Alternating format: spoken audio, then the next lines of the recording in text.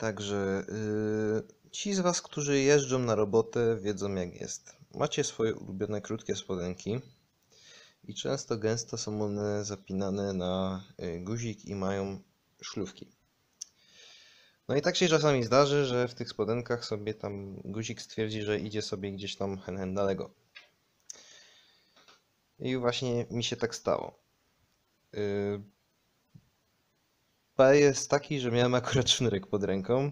Zrobiłem sobie węzeł krowi i zmajstrowałem sobie taki pasek na prędkości. I ten pasek ze mną już tak jeździ chyba z dobre dwa miesiące. Generalnie patent jest tak turbo prosty i tak genialny, że nie zdecydowałem się go nie demontować. Da się to obsługiwać jedną ręką śmiało. No, muszę uważać tutaj, bo YouTube, wiecie, friendly content i te sprawy. Da się to zaciągnąć śmiało jedną ręką. No minus jest taki, że mogą się trochę po- ponacierać te szlufki, ale B jest serio bardzo fajny. Także dzisiaj takie e, prędkie info. Wiecie, tutaj węzełek krowi, czyli ten, którego ostatnio dość sporo można zauważyć u mnie na kanale.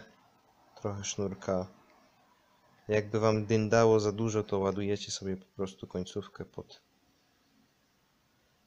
pod pasek, przeciągacie tutaj.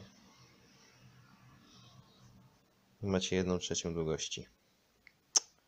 No, to to by było y, na tyle. Dzięki, trzymajcie się, cześć.